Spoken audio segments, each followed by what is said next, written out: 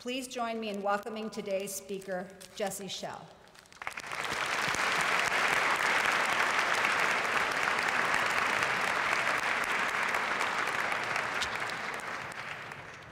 Wow, hi everybody. I can't tell you how weird this is for me. I was MS4, and here I am looking at MS24 right in front of me. There's a lot more of you. We thought there were a bunch of us back then. There were 36 students, and no one had ever seen such a big INI class before, but there's a few more of you now. I thought I would start by talking a little bit about the history of INI because I'm not sure everybody knows the history. Um, INI was not uh, an idea that came out of Carnegie Mellon initially.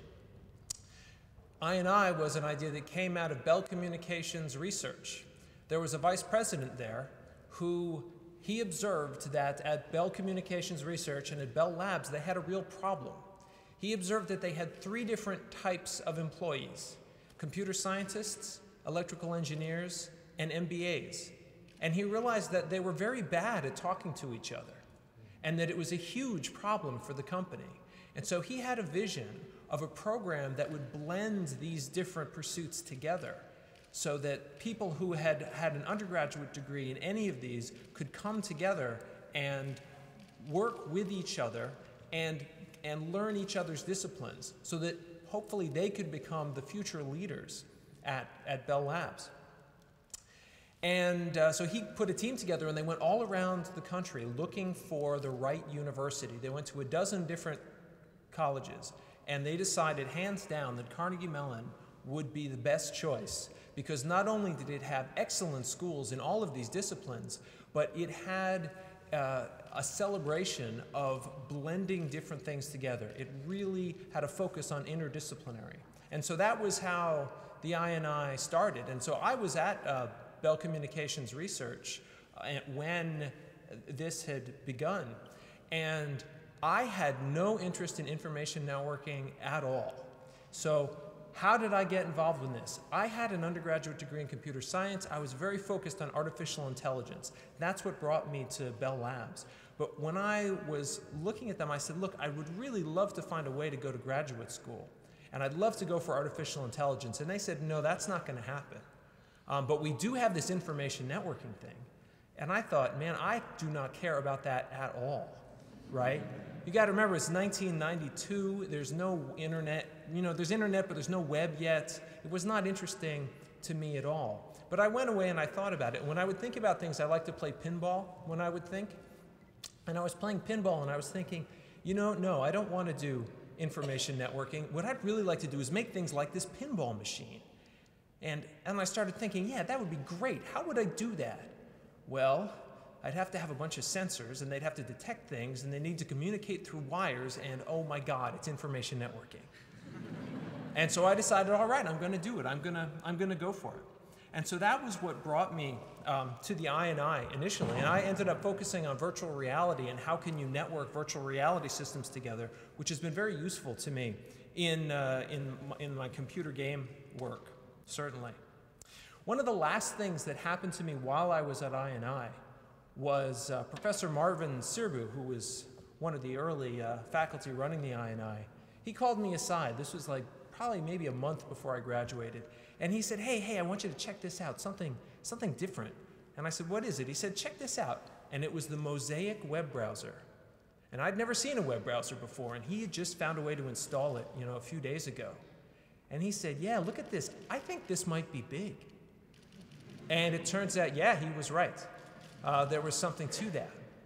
And it's very strange for me, looking back now 20 years at that day when I first saw a web browser at the INI, and you think how much the web and associated technologies have changed the world. They've changed everything about us.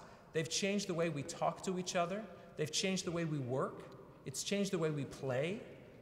You know, with, with dating systems, it's changed the way people fall in love. It's, it's changed the way everybody communicates. It's changed the way we go to war.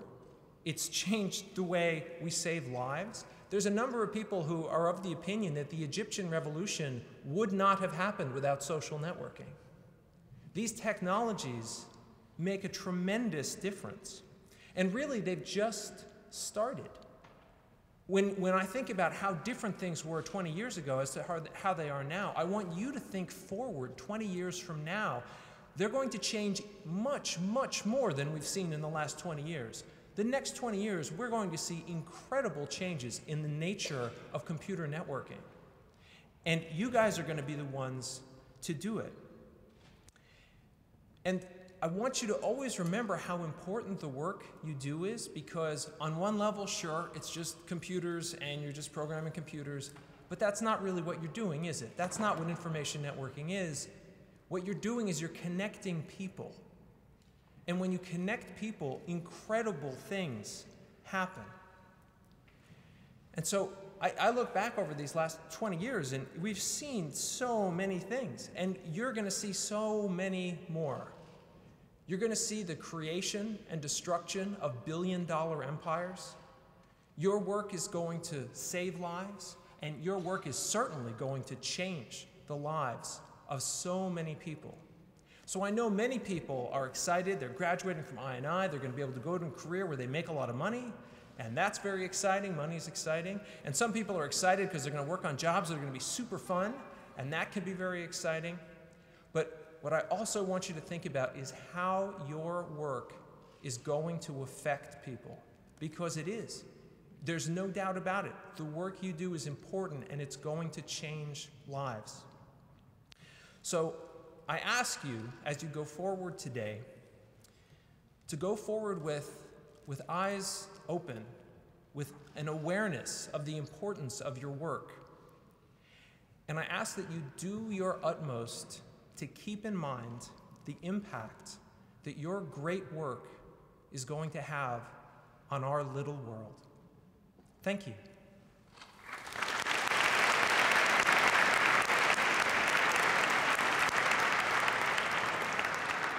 Thank you, Jesse. I'd like to present you with the token of this day. Um, I'll take it out so you can see it. Try not to drop it. Cool. Yeah.